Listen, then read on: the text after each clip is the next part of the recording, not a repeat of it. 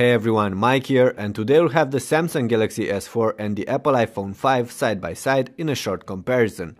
We're going to start with the looks. It's obvious that the iPhone is a much smaller device than the Samsung Galaxy S4. It's also significantly lighter and because of that it is going to be the more comfortable handsets for most of us unless you have giant hands. For the rest of us the iPhone is going to be easier to use with a single hand but that's just one side of the coin. The overall design and build quality is another and the iPhone 5 is a notch over the Samsung with its metal and glass body as opposed to the plastic used for the S4. It's true, Samsung upped the game over the S3 and now offers a hyper glazed design for the back cover, but it still feels a bit cheap and outdated compared to the iPhone and many of the other top smartphones of the moment. On the other hand, the iPhone does tend to scuff off easily, especially on the black version, so you will probably need a case for both these devices anyway. But the Samsung does gain points on other fronts. First, I do like the button layout, with the power button on the right, just where your thumb is, and the volume rocker near your index finger on the left. That if you're a righty. It's the other way around if you're a lefty. Then, the Samsung does offer more features than the iPhone, with a micro USB slot with MHL HDMI and an IR blaster on top, as opposed to the lightning connector on the Apple handset. And last but not least, the plastic cover on the back of the SGS4 is removable and once you take it off, you get access to the battery, a microSD card reader and a micro SIM slot.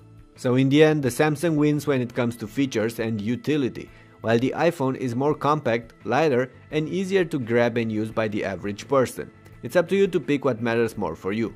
Moving on, the iPhone 5 sports a 4-inch screen with an IPS panel, while on the Samsung there's a 5-inch screen with a Super AMOLED panel.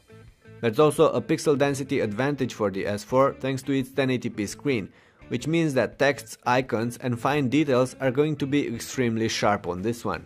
But to be frank, you'll almost never see the difference between the Retina display on the iPhone and the Full HD one on the Samsung during everyday use. Other things however matter more. The IPS panel on the iPhone is brighter and displays slightly more realistic colors than the one on the Samsung, which does tend to oversaturate them. Viewing angles are slightly better on the iPhone too, but the SGS4 takes it home when it comes to blacks and contrast.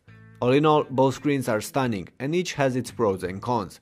I should also mention that the S4 is using the latest super sensitive Gorilla Glass 3 which offers extra toughness and means that you will be able to use your phone with gloves or other objects, while the iPhone 5 is only covered by an older generation of Gorilla Glass. Above the screen there's the front camera and some sensors on the iPhone while the Samsung does bundle a couple of extras there, with an IR sensor that enables gestures and a notification LED next to the standard camera and light sensor. Below the screen there's the classic home button on the iPhone and a physical button on the Samsung too, flanked by capacitive back and menu buttons just like on the S3 and their other top smartphones. Anyway, let's move on. Looks and screen apart, the buyers will care about how the two phones actually perform in everyday use. And here's where the Android versus iOS debate kicks off. iOS is simple and rather dull, but snappy and backed up by a curated ecosystem, while Android is more complex and easier to customize and adapt to your style. With the S4 though, that runs Android 4.2 Jelly Bean, Samsung did bring many of their own touches over the OS, starting with TouchWiz UI and continuing with all of their S apps and motion gestures. In fact, there are many new gestures brought by the S4, I'm not going to get in that here, some are gimmicks, but some are actually useful. You should see my dedicated clip on motion gestures for more details about them. At the end of the day though, both these handsets are incredibly snappy and can deal with all sorts of content and tasks, from browsing to editing photos and videos, from chatting to playing the latest HD games. The powerful hardware inside the phone has a role in this. You can check now the specs of the two phones compared here and while you'll notice that the S4 washes the floor with the iPhone on paper and even in most synthetic tests, when it comes to everyday use, the Samsung is still the one that gets sluggish sometimes, while the iOS powered handset does not. So this is not just a game of power, it's more. Of course, the smartphone still needs to handle the basics, and the two handsets compared here can handle calls at ease, offer top-notch reception and quality, even in congested or noisy environments. They are great for messaging and chatting too, with a slightly bumped for the S4, which offers a wider screen and an excellent swipe-enabled keyboard. Anyway, let's focus a bit on the cameras on these two devices. On the front, there's a 1080p shooter on the Samsung and only a 720p one on the iPhone. On the back there's a 13 megapixel camera on the Galaxy and only an 8 megapixel one on the iPhone. But we shouldn't judge cameras by megapixels alone, we judge them by results.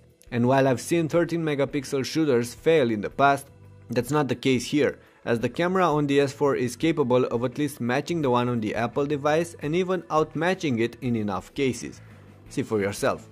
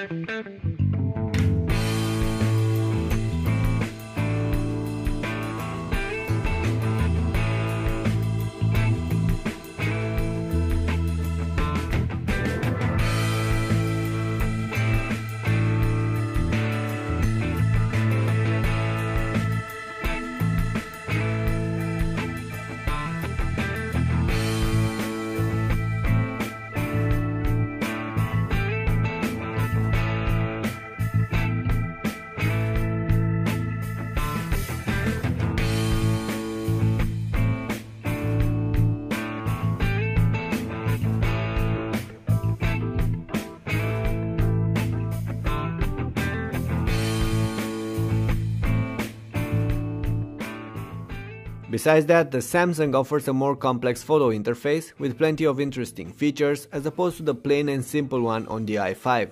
You get several shooting modes, just like on the Samsung Smart Camera, filters and tons of manual settings, so we can really say that Samsung put a lot of effort in the camera on their S4.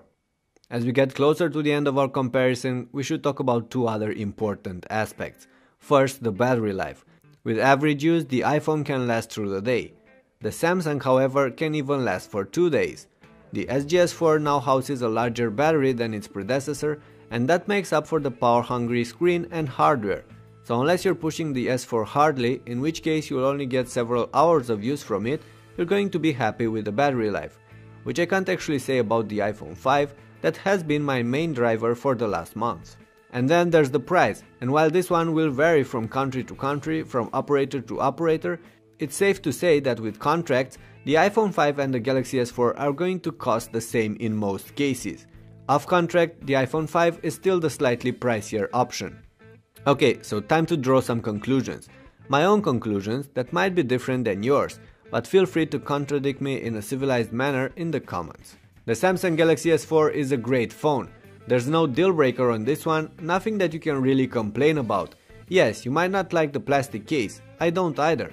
But the hardware and software, the features, the battery, the camera and the screen are among the best out there. Those being said, if you're after a large phone, the S4 is definitely an option to consider. However, I still believe that the iPhone 5 is better suited for the average smartphone user. It lacks many of the features offered by the S4, but it is more compact, easier to grab and use, and snappier during everyday activities. And for me, this really really matter. For you, they might not. Either way, I'm really curious to see what do you guys think about these two handsets, so please leave your comments below and tell me which one would you pick between the two and why. Alright, this pretty much wraps up this video. Like I said, I tried to keep it short. For more details, you should see my full review for the two phones and all the other detailed clips on my channel. If you like this video, please leave a thumbs up, share it to your friends and subscribe. All this mean a great deal to me and really help me carry on with what I do. Anyway, thanks a lot for watching and I'll catch you next time.